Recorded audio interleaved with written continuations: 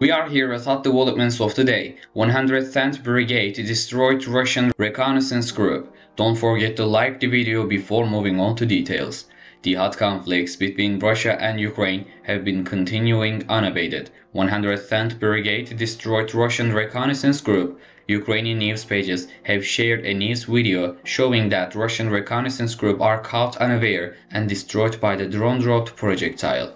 On the other hand, a Russian propagandist on state-controlled TV claimed the country's invasion of Ukraine is an episode in a long-standing war with the United States.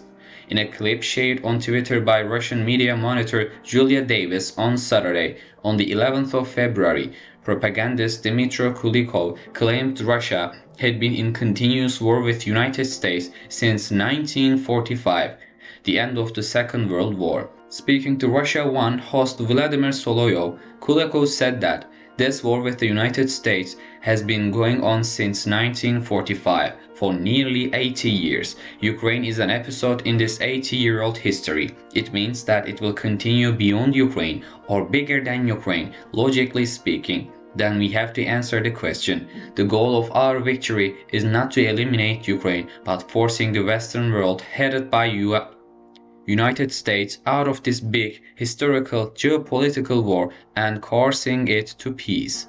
Kulikov's claim that United States has been in a continuous war with Russia doesn't reflect the reality of the recent history.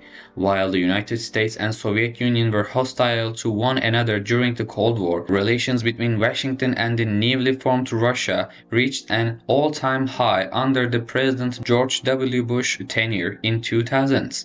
Relations then deteriorated significantly under the administration of Barack Obama following aggressive Russian military intervention in Georgia and the annexation of Crimea.